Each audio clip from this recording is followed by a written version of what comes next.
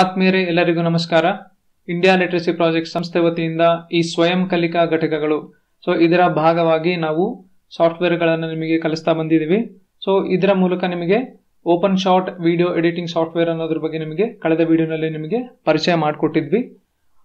ಆ ಕಳೆದ ವಿಡಿಯೋನಲ್ಲಿ ನಿಮಗೆ OpenShot video editing software so open ಶಾಟ್ನ ಲಾಂಚ್ ಮಾಡೋದು ಹೇಗೆ, ಓಪನ್ ಶಾಟ್ನ ಇನ್ಸ್ಟಾಲ್ ಮಾಡೋದು ಹೇಗೆ, ಇದ್ರ ಬಗ್ಗೆ ಎಲ್ಲ ನಿಮಗೆ ಮಾಹಿತಿನ ಕೊಟ್ಟಿದ್ವಿ.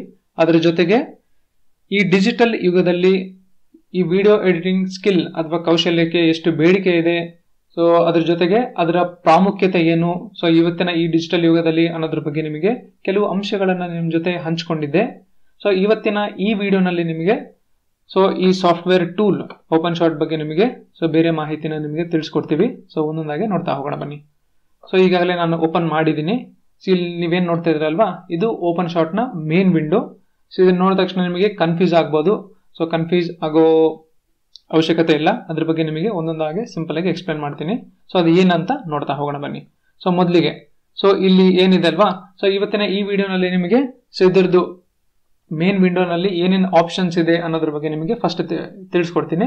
ನಂತರ ಮುಂದೆ ಹೋಗ್ತಾ ಹೋಗ್ತಾ ನಿಮಗೆ ಒಂದು ಪ್ರಾಜೆಕ್ಟ್ ಲೋಡ್ ಮಾಡೋದು ಹೇಗೆ, ಅದ್ರ ಬಗ್ಗೆ ಎಲ್ಲ ನಿಮಗೆ ತಿಳಿಸ್ಕೊಡ್ತೀನಿ. ಸೊ ಫಸ್ಟ್ ಇದರಲ್ಲಿ ಆಪ್ಷನ್ಸ್ ಏನಿದೆ ಅನ್ನೋದ್ರ ಬಗ್ಗೆ ತಿಳ್ಕೊಳ್ಳೋಣ. ಬನ್ನಿ. ಸೊ ಮೊದಲಿಗೆ ಇಲ್ಲಿ ಏನ್ ನೋಡ್ತಾ ಇದ್ರಲ್ವಾ? ಇದನ್ನ ಮೆನು ಬಾರ್ ಅಂತ ಕರೀತಾರೆ. ಸೊ ಇಲ್ಲಿ file edit title view help ಅಂತ ಇದೆ ಅಲ್ವಾ? ಇದೆಲ್ಲ ಕ್ಲಿಕ್ ಮಾಡಬಹುದು ಇದರಲ್ಲಿ ಎಷ್ಟು ಸೆಕ್ಷನ್ಸ್ ಇದೆ. ಸೊ ಇಲ್ಲಿ ಫಸ್ಟ್ ಫೈಲ್ ಅಂತ ಬರೋದಾದ್ರೆ ಇಲ್ಲಿ ಹೊಸ ಪ್ರಾಜೆಕ್ಟ್ ಸೊ ಪ್ರತಿಯೊಂದು ಈ ಫೈಲ್ ಈ ಓಪನ್ ಶಾಟ್ ಪ್ರತಿಯೊಂದು ಸಿಂಗಲ್ ಫೈಲ್ನ ಒಂದು ಪ್ರಾಜೆಕ್ಟ್ ಅಂತ ಕರೀತಾರೆ. ಇಲ್ಲಿ ನಾನು ಒಂದು ಪ್ರಾಜೆಕ್ಟ್ನ ಓಪನ್ ಮಾಡಿದ್ದೀನಿ ನೋಡಿ ಆಗ್ಲೇ. ಸೊ ಇದನ್ನ ಡಾಟ್ ಓ ಎಸ್ ಪಿ ಅಂತ ಹೇಳಿದ್ರೆ ಒಂದು ಪ್ರಾಜೆಕ್ಟ್ ಫೈಲು ನನ್ನ ಹತ್ರ ಹಲವಾರು ಪ್ರಾಜೆಕ್ಟ್ಗಳಿದೆ ಇಲ್ಲಿ ತೋರಿಸ್ತೇನೆ ಇಲ್ಲಿ. ನೋಡಿದ್ರಾ? ನೋಡಿ, ಇಷ್ಟು ಪ್ರಾಜೆಕ್ಟ್ ಫೈಲ್ಸ್ ಇದೆ. ಸೊ ಅದಲ್ಲದೆ ನಿಮಗೆ ನೆಕ್ಸ್ಟ್ ಇಲ್ಲಿ ಟೂಲಿಗೆ ಬರೋದಾದ್ರೆ ಸೊ ನಿಮಗೆ ಇಲ್ಲಿ ಖಾಲಿ ಇದೆ ಅಲ್ವಾ? ಸೊ ನಿಮಗೆ ಒಂದು ಪ್ರಾಜೆಕ್ಟ್ ಫೈಲ್ ಮೂಲಕ ನಾನು ನಿಮಗೆ ಎಕ್ಸ್ಪ್ಲೇನ್ ಮಾಡ್ತೀನಿ. ಸ್ವಲ್ಪ ಅರ್ಥ ಆಗಲಿ ಅಂತ. ಸೊ ಇದು ಹೊಸ ಪ್ರಾಜೆಕ್ಟ್ನ ಓಪನ್ ಮಾಡಬೇಕಂದ್ರೆ ಸೊ ಈ ಹೊಸ ಪ್ರಾಜೆಕ್ಟ್ನ ಓಪನ್ ಮಾಡಿದಾಗ ನಿಮಗೆ ಈ ಥರ ನಿಮಗೆ ಬರುತ್ತೆ. ಅದಲ್ಲದೆ ನಿಮಗೆ ಇಲ್ಲಿ ಕೆಳಗಡೆ. ಸೊ ನೆಕ್ಸ್ಟ್ ಓಪನ್ ಪ್ರಾಜೆಕ್ಟ್ ಅಂದರೆ ಸೊ ನೆಕ್ಸ್ಟ್ ಯಾವುದಾದ್ರೂ ಆಗಲೇ ಇರೋ ಪ್ರಾಜೆಕ್ಟಿಗೆ ಆಗಲೇ ಇರೋ ಪ್ರಾಜೆಕ್ಟ್ನ ಓಪನ್ ಮಾಡ್ಬೇಕಂದ್ರೆ ನನ್ನ ಸಿಸ್ಟಮ್ ಅಲ್ಲಿ ಇರೋ ಪ್ರಾಜೆಕ್ಟ್ನ ಓಪನ್ ಮಾಡಬೇಕಂದ್ರೆ ನಿಮಗೆ ಈ ತರ ಓಪನ್ ಮಾಡಬಹುದು ಅದಲ್ಲದೆ ನಮ್ಮ ಪ್ರಾಜೆಕ್ಟ್ನ, ಈ ಪ್ರತಿಯೊಂದು ಪ್ರಾಜೆಕ್ಟ್ನ ಸೇವ್ ಮಾಡಬೇಕು. ಫ್ಯೂಚರ್ ಅಲ್ಲಿ ನಾವು ಮತ್ತೆ ಇದನ್ನ ಬಳಸಬೇಕಾಗುತ್ತೆ ಅವಶ್ಯಕತೆ ಬರುತ್ತೆ ಅನ್ನೋದಾದ್ರೆ ಇದನ್ನ ದಯವಿಟ್ಟು ಈ ಫೈಲ್ನ ಸೇವ್ ಮಾಡ್ಕೋಬೇಕಾಗುತ್ತೆ, ಈ ಪ್ರಾಜೆಕ್ಟ್ನ ಸೇವ್ ಮಾಡ್ಕೋಬೇಕಾಗುತ್ತೆ. ಸೊ ಫಸ್ಟ್ ಟೈಮ್ ಪ್ರಾಜೆಕ್ಟ್ನ ಸೇವ್ ಮಾಡೋರಿಗೆ ಸೇವ್ ಪ್ರಾಜೆಕ್ಟ್ ಆಸ್ ನಿಮಗೆ ಸೇವಿಂಗ್ ಎಲ್ಲ ಗೊತ್ತಿದೆ. ಸೊ ನೆಕ್ಸ್ಟ್ ಕೆಳಗೆ ಬರೋದಾದ್ರೆ ಇಂಪೋರ್ಟ್ ಫೈಲ್ಸ್ ಇಂಪೋರ್ಟ್ ಫೈಲ್ಸ್ ಅಂದ್ರೆ ಇದನ್ನ ಪ್ರಾಜೆಕ್ಟ್ ಫೈಲ್ಸ್ ಅಂತ ಕರೀತಾರೆ ಇದನ್ನ. ಸೊ ಪ್ರಾಜೆಕ್ಟ್ ಫೈಲ್ಸ್ನ ಪ್ರಾಜೆಕ್ಟ್ ಫೈಲ್ಸ್ ಅಲ್ಲಿ ಏನಿರುತ್ತೆ? ಮುಖ್ಯವಾಗಿ ಸೊ ಪ್ರಾಜೆಕ್ಟ್ ಫೈಲ್ಸ್ ಅಂತ ಬಂದಾಗ ಸೊ ಇದರಲ್ಲಿ ನಿಮಗೆ ವಿಡಿಯೋ ಫೈಲ್ಸ್ ಇರುತ್ತೆ ಆಡಿಯೋ ಫೈಲ್ಸ್ ಇರುತ್ತೆ ಇಮೇಜ್ ಫೈಲ್ಸ್ ಇರುತ್ತೆ. ಸೊ ಈ ವಿಡಿಯೋ ಅಂತ ಬಂದಾಗ ಸೊ ಈ ಮೂರು ಒಳಗೊಂಡಿರೋದ್ರಿಂದ, ಇದ್ರ ಬಗ್ಗೆ ನಾನು ಸ್ವಲ್ಪ ಮಾಹಿತಿ ನಾನು ನಿಮಗೆ ಈ ವಿಡಿಯೋ ಕೊನೆಯಲ್ಲಿ ಕೊಡ್ತೀನಿ. ಸೊ ಮೊದಲು ಈ, ಇದರಲ್ಲಿ ಆಪ್ಷನ್ಸ್ ಏನಿದೆ ಅಲ್ವಾ? ಅದ್ರ ಬಗ್ಗೆ ತಿಳ್ಕೊಳ್ಳೋಣ, ಬನ್ನಿ. ಅದರ, ಅದ್ರ ಜೊತೆಗೆ ಈ ಚೂಸ್ ಪ್ರೊಫೈಲ್ ಅಂತ ಬಂದಾಗ, ಇದು ವಿಡಿಯೋ ಎಡಿಟಿಂಗ್ ಸಾಫ್ಟ್ವೇರ್ ಆಗಿರೋದ್ರಿಂದ, ಈ ಪ್ರಾಜೆಕ್ಟ್ ಮೂಲಕ ನಮ್ಮ ಮುಖ್ಯ ಉದ್ದೇಶ. ಸೊ ಫೈನಲ್ ಆಗಿ ಒಂದು ವಿಡಿಯೋ ಬರೋದು. ಸೊ ಆ ವಿಡಿಯೋ ಫ್ರೇಮ್ ಯಾವ ಥರ ಇರಬೇಕು, ಅದ್ರ ರೆಸಲ್ಯೂಷನ್ ಯಾವ ಥರ ಇರಬೇಕು, ಅದ್ರ ಬಗ್ಗೆ ಎಲ್ಲ ಇದು ಡಿಫಾಲ್ಟ್ ಆಗಿರುತ್ತೆ. ಇದನ್ನೇನು ಮುಟ್ಟಕ್ಕೆ ಹೋಗಬೇಡಿ. ಸೊ ಇದು ಹೀಗೆ ಇದ್ರೂ ಪರವಾಗಿಲ್ಲ. ಇದ್ರ ಕೆಳಗಡೆ ಎಕ್ಸ್ಪೋರ್ಟ್ ಎಕ್ಸ್ಪೋರ್ಟ್ ಅನ್ನೋದು ಕೊನೆ ಹಂತ. ಎಲ್ಲ ನಾವೆಲ್ಲ ರೆಡಿ ಆಗಿದೆ. ಈ ಪ್ರಾಜೆಕ್ಟ್ ಎಲ್ಲ ರೆಡಿ ಇದೆ ಅಂದಾಗ ಎಕ್ಸ್ಪೋರ್ಟ್ ಕೊಟ್ಟರೆ ಒಂದು ವಿಡಿಯೋ ಆಗಿ ಅದು ಕನ್ವರ್ಟ್ ಆಗುತ್ತೆ. ಸೊ ಅದ್ರ ನಾನೊಂದು ಪ್ರಾಜೆಕ್ಟ್ ಎಕ್ಸ್ಪ್ಲೇನ್ ಮಾಡ್ತೀನಲ್ವಾ? ಆ ಟೈಮಲ್ಲಿ ನಿಮಗೆ ಕ್ಲೀನಾಗಿ ಅರ್ಥ ಆಗುತ್ತೆ. ಅದನ್ನ ರೆಂಡ್ರಿಂಗ್ ಮಾಡ್ತೀನಿ. ಕ್ವಿಟ್ ಅಂದ್ರೆ ಎಕ್ಸಿಟ್ ಆಗುತ್ತೆ. ನೆಕ್ಸ್ಟ್ ಎಡಿಟ್ ಅಂತ ಬಂದಾಗ ಅಂಡು ರೀಡು ಅನ್ನೋದು ನಾವೇನಾದ್ರೂ ಮಿಸ್ಟೇಕ್ ಮಾಡಿದ್ರೆ ಒಂದ್ ಸ್ಟೆಪ್ ಹಿಂದೆ ಹೋಗುತ್ತೆ, ಇಲ್ಲಾಂದ್ರೆ ಒಂದ್ ಸ್ಟೆಪ್ ಮುಂದೆ ಹೋಗುತ್ತೆ. ಅದಲ್ಲದೆ ಕ್ಲಿಯರ್ ಹಿಸ್ಟ್ರಿ ಅಂದ್ರೆ ನೀವೇನಾದ್ರೂ ರೀಸೆಂಟ್ ಇರೋದು ಟ್ರ್ಯಾಕಿಂಗ್ ಏನೇನು ಆಕ್ಟಿವಿಟಿ ಮಾಡಿದ್ರಲ್ವಾ ಅದನ್ನ ಚೆಕ್ ಮಾಡ್ಬೇಕಂದ್ರೆ ಕ್ಲಿಯರ್ ಮಾಡಬಹುದು ಚೆಕ್ ಮಾಡಿ ಕ್ಲಿಯರ್ ಮಾಡಬಹುದು ಅದಲ್ಲದೆ ಪ್ರಿಫರೆನ್ಸ್ ಅಂದ್ರೆ ಇದನ್ನ ಕ್ಲಿಕ್ ಮಾಡಿದ್ರೆ ಇದು ಜನರಲ್ ಸೆಟ್ಟಿಂಗ್ಸ್ ಇದೆ ಆಕ್ಚುಲಿ ಸೊ ಬೈ ಡಿಫಾಲ್ಟ್ ಇದನ್ನೇನು ಮುಟ್ಟಕ್ ಹೋಗಬೇಡಿ. ಸೊ ಇದರಲ್ಲಿ ನಾವು ವಿಡಿಯೋ ರೆಸಲ್ಯೂಷನ್ ಹೆಂಗಿರ್ಬೇಕು ಆಡಿಯೋ ಕ್ವಾಲಿಟಿ ಹೆಂಗಿರ್ಬೇಕು, ಅದೆಲ್ಲ ಫ್ರೇಮ್ ಸೊ ಒಂದು ವಿಡಿಯೋ ಒಂದು ವಿಡಿಯೋ ಅಂದಮೇಲೆ ಒಂದು ಫ್ರೇಮ್ ಅಂತ ಇರುತ್ತಲ್ವಾ? ಸೊ ಅದೆಲ್ಲ ಹೇಗಿರಬೇಕು ಅನ್ನೋದ್ರ ಬಗ್ಗೆ ಇದು ಸ್ವಲ್ಪ ಮುಖ್ಯ. ಇದ್ರ ಬೇಕಂದ್ರೆ ನೋಡ್ಕೊಳ್ಳಿ. ಕೀಬೋರ್ಡ್ ಶಾರ್ಟ್ ಕೊಟ್ಟು ಪ್ರತಿಯೊಂದಕ್ಕೂ ಒಂದೊಂದು ಇದೆ. ಸೊ ಅದ್ರ ಬಗ್ಗೆ ನೀವು ನೋಡ್ಕೊಳ್ಳಿ. ಅದ, ಅದಾದ್ಮೇಲೆ ಟೈಟಲ್ ಇದೊಂದು ಟೈಟಲ್ಗೆ ನಮಗೆ ಕಸ್ಟಮ್ ಟೈಟಲ್ಸ್ ಇಲ್ಲೊಂದು ಈ ಟೈಟಲ್ ಅಂತಿದ್ದಲ್ವಾ? ನಾವು ಟೈಟಲ್ಸ್ ಎಲ್ಲ ಆಡ್ ಮಾಡ್ಬೋದು ನಮ್ಮ ವೀಡಿಯೋಸಿಗೆ ಸಿಂಪಲ್ ಆಗಿ ಟೈಟಲ್ಸ್ ಆಡ್ ಮಾಡ್ಬೋದು. ಇದು ಟೂ ಡಿ ಟೈಟಲ್ಸ್ ನಮಗೆ ಏನಾದರೂ ಸ್ವಲ್ಪ ಆನಿಮೇಷನ್ ಎಲ್ಲ ಬೇಕು ಅಂದ್ರೆ, ಇಲ್ಲ ಆನಿಮೇಟೆಡ್ ಟೈಟಲ್ಸ್ ಅಂತ ಬಂದ್ರೆ ಇದನ್ನ ಮಾಡ್ಕೋಬಹುದು ಇದನ್ನ ನಾನೊಂದು ಪ್ರಾಜೆಕ್ಟ್ ಮೂಲಕ ನಾನು ಬರೋ ವಿಡಿಯೋನಲ್ಲಿ ನಿಮಗೆ ಎಕ್ಸ್ಪ್ಲೇನ್ ಮಾಡ್ತೀನಿ. ನಿಮಗೊಂದು ಐಡಿಯಾ ಇರಲಿ ಅಂತ ನಿಮಗೆ ಮಾಹಿತಿ ಕೊಟ್ಟೆ. ಇದು ಉಪಯೋಗ ಆಗುತ್ತೆ.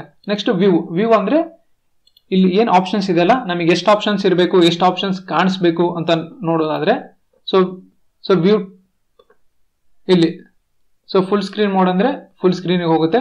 ಮತ್ತೆ ವಾಪಸ್ ಫುಲ್ ಸ್ಕ್ರೀನಿಗೆ ಕ್ಲಿಕ್ ಮಾಡಿದ್ರೆ ಮತ್ತೆ ಅದಕ್ಕೆ ಬರುತ್ತೆ. ಸ್ವಲ್ಪ ದೊಡ್ಡದು ಮಾಡ್ಕೊತೀನಿ ನಾನು. ನಂತರ ಇಲ್ಲಿ ಕೆಳಗಡೆ ಬರ್ತೀನಿ ನಾನು. ವ್ಯೂಸ್ ಅಂತ ಬಂದಾಗ ಸಿಂಪಲ್ ವ್ಯೂ ಅಂದರೆ ಇಷ್ಟು ಮಾತ್ರ ಕಾಣಿಸುತ್ತೆ ನನಗೆ.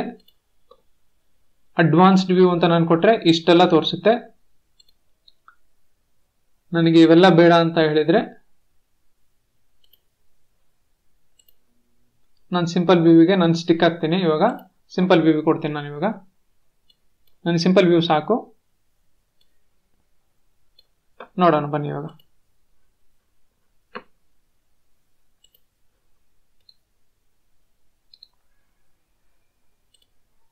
ಓಕೆ ಸೊ ಇವಾಗ ಇಲ್ಲಿ ಇದಾಯ್ತು. ಸೊ ವ್ಯೂ ಆಯ್ತು.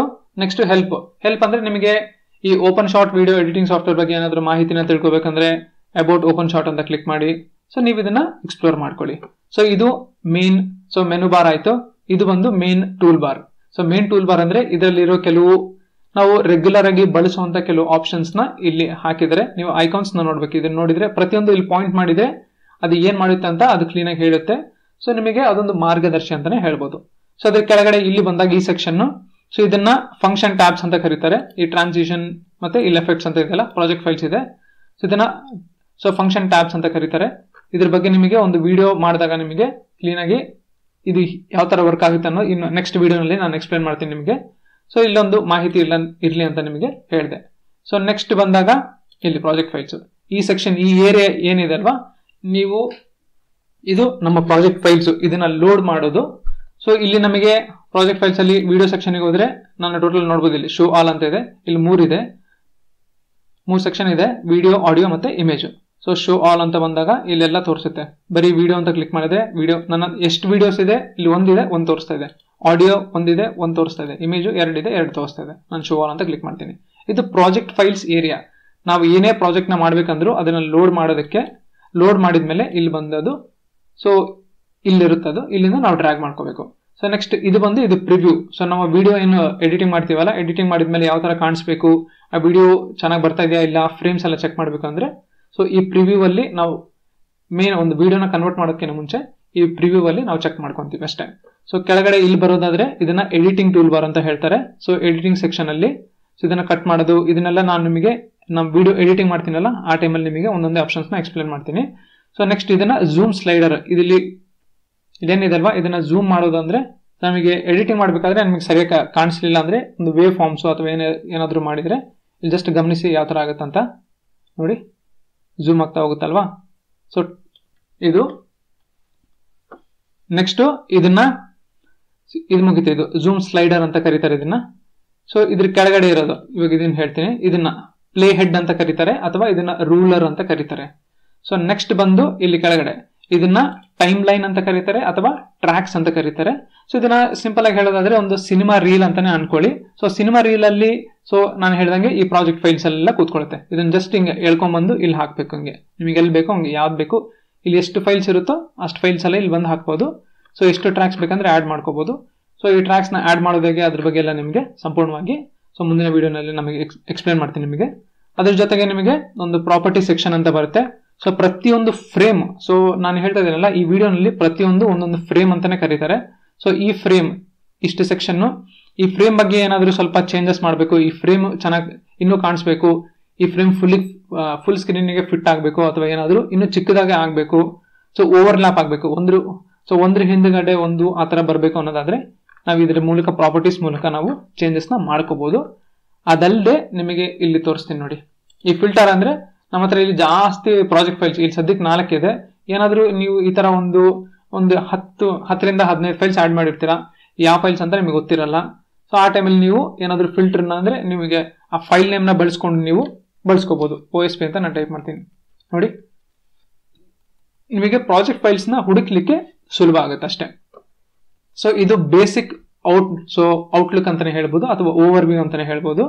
ಸೊ ನಿಮಗೆ ಬರೋ ವಿಡಿಯೋನಲ್ಲಿ ನಿಮಗೆ ಒಂದು ಸಿಂಪಲ್ ಆಗಿರೋ ಒಂದು ಪ್ರಾಜೆಕ್ಟ್ ಸ್ಲೈಡ್ ಶೋ ಈ ತರ ಇಮೇಜಸ್ನ ಸ್ಲೈಡ್ ಶೋ ಮಾಡಿ, ಅದಕ್ಕೊಂದು ಮ್ಯೂಸಿಕ್ನ ಆಡ್ ಮಾಡಿ ಯಾವ ತರ ಮಾಡೋದು ಅನ್ನೋದ್ರ ಬಗ್ಗೆ ಹೇಳ್ಕೊಡ್ತೀನಿ. ಅದ್ರ ಜೊತೆಗೆ ನಾವು ಈ ವಿಡಿಯೋನ ಯಾವ ತರ ಮಾಡ್ತೀವಿ ಅದ್ರ ಬಗ್ಗೆನೂ ಒಂದು ಪ್ರಾಜೆಕ್ಟ್ ಮಾಡಿ ತೋರಿಸ್ತೀವಿ. ಸೊ ನಾನು ಇಲ್ಲಿ ಹೇಳ್ತಾ ಇದ್ದಲ್ಲ ಈ ಪ್ರಾಜೆಕ್ಟ್ ಇಲ್ಲಿ ಪ್ರಾಜೆಕ್ಟ್ ಫೈಲ್ ಸೆಕ್ಷನ್ ಅಲ್ಲಿ ಸೊ ಇಮೇಜ್ ವಿಡಿಯೋ ಮತ್ತೆ ಆಡಿಯೋ ಇದ್ರ ಬಗ್ಗೆ ನಾನು ಕೆಲವು ಅಂಶಗಳನ್ನ ನಾನು ಶೇರ್ ಮಾಡ್ತೀನಿ. ಸೊ ನೀವು ವಿಡಿಯೋ ಅಂತ ಬಂದಾಗ ಸೊ ನಾನು ಹೇಳೋದಾದ್ರೆ ಸೊ ವಿಡಿಯೋ ಅನ್ನೋದು ಒಂದು ಸೊ ಸೊ ವಿಡಿಯೋನ ನಾನು ಡಿಜಿಟಲ್ ಸ್ಟೋರಿ ಟೆಲ್ಲಿಂಗ್ ಅಂತಾನು ನಾನು ಹೇಳ್ತೀನಿ. ಅಂದ್ರೆ ಡಿಜಿಟಲ್ ಮಾಧ್ಯಮನ ಬಳಸ್ಕೊಂಡು ಸೊ ವಿಡಿಯೋ ಮುಖಾಂತರ ನಾವು ಕಥೆನ ಹೇಳ್ತೀವಿ. ಸೊ ಅದನ್ನೇ ವಿಡಿಯೋ ಅಂತಾನೆ ಕರೀತಾರೆ. ಅದಕ್ಕೆ ತಾನೆ ನಾವು ವಿಡಿಯೋಸ್ನ ಅಷ್ಟು ಖುಷಿಯಾಗಿ, ಅಷ್ಟು ಎಂಜಾಯ್ ಮಾಡಿ ನೋಡ್ತೀವಿ. ಅದನ್ನ ಅಷ್ಟು ಕಲರ್ಫುಲ್ ಆಗಿ ಕಥೆನ ಹೇಳೋದಕ್ಕೆ ನಾವು ವಿಡಿಯೋ ಮಾಧ್ಯಮನ ಬಳಸ್ಕೊಂತೀವಿ. ಸೊ ವಿಡಿಯೋ ಮೂಲಕ ನಾವು ಕಥೆನ ಹೇಳ್ತೀವಿ. ಸೊ ಈ ಈ ಒಂದು ಎಡಿಟಿಂಗ್ ಸಾಫ್ಟ್ವೇರ್ ಅಂತ ಬಂದಾಗ ವಿಡಿಯೋನಲ್ಲಿ ಏನೇನೆಲ್ಲ ಅಂಶಗಳು ಒಳಗೊಂಡಿರುತ್ತೆ ಅಂತ ಹೇಳೋ, ನೋಡೋದಾದ್ರೆ ಸೊ ಅದರಲ್ಲಿ ಇಮೇಜ್ ಇರುತ್ತೆ, ಚಿತ್ರಗಳು ಇರುತ್ತೆ ಆಡಿಯೋನು ಇರುತ್ತೆ ವಿಡಿಯೋನು ಇರುತ್ತೆ. ಸೊ ಇಮೇಜ್ ಅಂತ ಬಂದಾಗ ನಮಗೆ ನಿಮಗೊಂದು ಬೇಸಿಕ್ ಒಂದು ಔಟ್ಲೈನ್ ಅಂತ ನಿಮಗೆ ತೋರಿಸ್ತಾ ಇದೀನಿ ಅಷ್ಟೇ. ಸೊ ಇಮೇಜ್ ಸೆಕ್ಷನ್ ಅಂತ ಬಂದಾಗ ಇಮೇಜ್ ಅಲ್ಲಿ ನಿಮಗೆ ಸೊ ನಾವು ಇಂಟರ್ನೆಟ್ ಇಂದ ಡೌನ್ಲೋಡ್ ಮಾಡ್ಕೊಂಡಿರೋ ಇಮೇಜಸ್ ಇರ್ಬೋದು, ಅಥವಾ ನಮ್ಮ ಮೊಬೈಲ್ ಇಂದ ಕ್ಯಾಪ್ಚರ್ ಅಥವಾ ನಮ್ಮ ಮೊಬೈಲ್ ಕ್ಯಾಮ್ರಾದಿಂದ ತೆಗೆದಿರೋ ಇಮೇಜಸ್ ಇರ್ಬೋದು, ಅಥವಾ ನಾವೇನಾದ್ರೂ ಸ್ಕ್ರೀನ್ ಶಾಟ್ ತಗೊಂಡಿರೋ ಇಮೇಜಸ್ ಇರ್ಬೋದು. ಈ ತರ ಇಮೇಜಸ್ ನಾವು ಎಲ್ಲಿ ಈ ಪ್ರಾಜೆಕ್ಟ್ ಫೈಲ್ಸ್ ಅಲ್ಲಿ ಬಳಸಬಹುದು ಸೊ ಬಳಸ್, ಏನಾದ್ರೂ ಅವಶ್ಯಕತೆ ಇದ್ರೆ ಬಳಸಬೇಕಾಗತ್ತೆ. ನಮ್ಮ ಅವಶ್ಯಕತೆ ತಕ್ಕ ಹಾಗೆ. ಅದಲ್ಲದೆ ನೆಕ್ಸ್ಟ್ ಇವಾಗ ಈ ಸೆಕ್ಷನ್ ಆಡಿಯೋ ಅಂತ ಬಂದಾಗ ಸೊ ಆಡಿಯೋನಲ್ಲಿ ನಾವು ಸೊ ಆಡಿಯೋನಲ್ಲಿ ನಾವು ಇಂಟರ್ನೆಟ್ ಇಂದ ಹಲವಾರು ಸೊ ಸಾಫ್ಟ್ವೇರ್ಗಳ ಸೊ ವಿಡಿಯೋ ಕ್ಲಿಪ್ಸ್ನ ಡೌನ್ಲೋಡ್ ಮಾಡಬಹುದು ಮಾಡ್ಬೇಕು ಮಾಡಬೇಕಾದ ಅವಶ್ಯಕತೆ ಇದ್ರೆ ಸೊ ಇಮೇಜ್ ಅಂದ್ರೆ ನಾನು ನಾನು ಸೊ ಇದರ ಉದ್ದೇಶ ನಾನು ಏನು ಏನಕ್ಕೆ ಹೇಳ್ತಾ ಇದ್ದೇನೆ ಅಂದ್ರೆ ಸೊ ಒಂದು ವಿಡಿಯೋ ಅಂತ ಬಂದಾಗ ಇಷ್ಟೆಲ್ಲ ವೆರೈಟೀಸ್ ಇರೋದ್ರಿಂದ ಸೊ ಇಮೇಜ್ ಇರುತ್ತೆ ಆಡಿಯೋ ಇರುತ್ತೆ ವಿಡಿಯೋ ಇರುತ್ತೆ. ಸೊ ಈಗ ಆಡಿಯೋ ಸೆಕ್ಷನ್ ಅಂತ ಬಂದಾಗ ನಾವು ಇಂಟರ್ನೆಟ್ ಇಂದ ಹಲವಾರು ಮ್ಯೂಸಿಕ್ನ ಡೌನ್ಲೋಡ್ ಮಾಡ್ತೀವಿ. ಈ ಮ್ಯೂಸಿಕ್ನ ನಮ್ಮ ಪ್ರಾಜೆಕ್ಟ್ ಫೈಲ್ ಅಲ್ಲಿ ಬಳಸ್ಕೋಬಹುದು ಸೊ ಬಳಸ್ಕೊಳ್ಳೋ ಅವಶ್ಯಕತೆನೂ ಬರ್ಬೋದು, ಅಲ್ವಾ?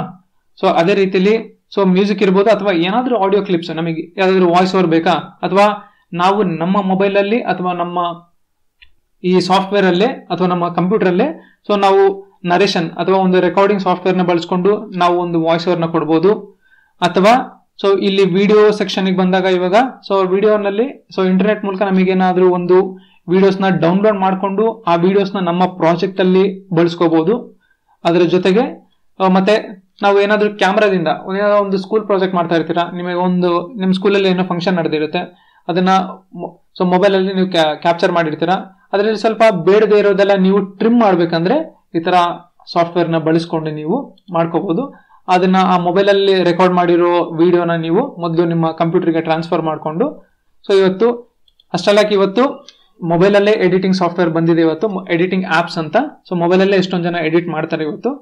ಇನ್ನು ಚೆನ್ನಾಗಿ ಎಡಿಟ್ ಮಾಡಬೇಕು, ಇನ್ನು ಕಲರ್ಫುಲ್ ಆಗಿ ಸ್ವಲ್ಪ ಎಡಿಟ್ ಎಲ್ಲ ಮಾಡಬೇಕು ಅಂದ್ರೆ ಸೊ ನೀವು ಅದನ್ನ ನಿಮ್ಮ ಕಂಪ್ಯೂಟರ್ಗೆ ಟ್ರಾನ್ಸ್ಫರ್ ಮಾಡಿಕೊಂಡು, ಇನ್ನು ಈ ತರ ಸಾಫ್ಟ್ವೇರ್ ಮೂಲಕ ಎಡಿಟಿಂಗ್ ಮಾಡಬಹುದು ಸೊ ಅದಲ್ಲದೆ ನಿಮಗೆ ಸೊ ಇನ್ನು ವಿಡಿಯೋನ ನೀವು ಸ್ಕ್ರೀನ್ ಕಾಸ್ಟ್ ಮೂಲಕನೂ ರೆಕಾರ್ಡ್ ಮಾಡ್ಕೋಬಹುದು ಸೊ ಸ್ಕ್ರೀನ್ ಕಾಸ್ಟ್ ಮೂಲಕ ರೆಕಾರ್ಡ್ ಮಾಡೋದಂದ್ರೆ ಈ ವಿಡಿಯೋ ಏನು ನೋಡ್ತಾ ಇದ್ರಲ್ವಾ? ಇದನ್ನ ಕೂಡ ನೀವು ನಾವು ಸ್ಕ್ರೀನ್ ಶಾಟ್ ಮೂಲಕ ಸ್ಕ್ರೀನ್ ಕಾಸ್ಟ್ ಮೂಲಕನೇ ರೆಕಾರ್ಡ್ ಮಾಡಿರೋದು.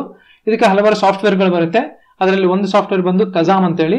ಅದ್ರ ಬಗ್ಗೆ ನಾವು ವಿಡಿಯೋ ಈಗಾಗಲೇ ನಾವು ಆ ಕಜಾಮ್ ಟೂಲ್ನ ಸ್ಕ್ರೀನ್ ಕಾಸ್ಟಿಂಗ್ ಮಾಡೋದು ಹೇಗೆ, ಅದ್ರ ಬಗ್ಗೆ ಮಾಹಿತಿ ಎಲ್ಲ ನಾವು ನಮ್ಮ ಒಂದು ವಿಡಿಯೋನ ರೆಕಾರ್ಡ್ ಮಾಡಿ, ನಮ್ಮ ಯೂಟ್ಯೂಬ್ ಚಾನಲಲ್ಲಿ ಅಪ್ಲೋಡ್ ಮಾಡಿದ್ವಿ. ದಯವಿಟ್ಟು ಹೋಗಿ ನೋಡಿ. ಸ್ಕ್ರೀನ್ ಕಾಸ್ಟಿಂಗ್ ಮತ್ತೆ ಈ ವಿಡಿಯೋ ಎಡಿಟಿಂಗ್ ತುಂಬಾ ಲಿಂಕ್ ಇರೋದ್ರಿಂದ ಏನಕ್ಕಂದ್ರೆ ಇನ್ನು ಬರೋ ದಿನಗಳಲ್ಲಿ ನೆಕ್ಸ್ಟ್ ಬರೋ ಒಂದು ಎರಡು ಮೂರು ಈ ಒಂದು ಒಂದು ಸಪ್ರೇಟಾಗಿ ಒಂದು ಪ್ರಾಜೆಕ್ಟ್ ಮಾಡಿನೇ ತೋರಿಸ್ತೀವಿ. ಸೊ ಟೀಚರ್ಸು ಈ ತರ ಎಜುಕೇಶನಲ್ ವಿಡಿಯೋಸ್ನ ಯಾವ ರೀತಿಯಲ್ಲಿ ಮಾಡೋದು ಅನ್ನೋದು ಒಂದು ಮಿನಿ ಪ್ರಾಜೆಕ್ಟ್ ಮೂಲಕ ನಾನು ನಿಮಗೆ ತೋರಿಸ್ಕೊಡ್ತೀನಿ. ಸೊ ಇದನ್ನೆಲ್ಲ ಒಂದ್ಸಲ ನೀವು ಗಮನಿಸಿ, ಒಂದ್ಸಲ ಪ್ರಾಕ್ಟೀಸ್ ಮಾಡಿ, ಈ ಟೂಲು ಸೊ ಇವತ್ತು ಹೇಳ್ಕೊಟ್ಟಿರೋ ಇಷ್ಟು ಕಾನ್ಸೆಪ್ಟ್ ನಿಮಗೆ ಉಪಯೋಗ ಆಗಿದೆ ಅಂತ ಭಾವಿಸ್ತಾ ಇದೀವಿ. ಮತ್ತೆ ಮತ್ತೆ ಮುಂದಿನ ವಿಡಿಯೋನಲ್ಲಿ ಈಗಲಿಂದ ನಾನು ಹೇಳ್ತೇನಲ್ಲ, ಒಂದು ಮೂರರಿಂದ ನಾಲ್ಕು ಸಿಂಪಲ್ ಆಗಿರುವಂತ ಪ್ರಾಜೆಕ್ಟ್ ಬೇರೆ ಬೇರೆ ತರದ್ದು ಪ್ರಾಜೆಕ್ಟ್ಸ್ ಅದ್ರ ಮುಖ ಅದ್ರ ಅದ್ರ ಮುಖಾಂತರ ನಿಮಗೆ ಹಲವಾರು ಕಾನ್ಸೆಪ್ಟ್ ಬಗ್ಗೆ ಎಕ್ಸ್ಪ್ಲೇನ್ ಮಾಡ್ತೀನಿ ನಾನು ನಿಮಗೆ. ಸೊ ಇಲ್ಲಿ ರೈಟ್ ಕ್ಲಿಕ್ ಮಾಡಿದ್ರೆ ಇಷ್ಟೆಲ್ಲ ಆಪ್ಷನ್ಸ್ ಇದೆ.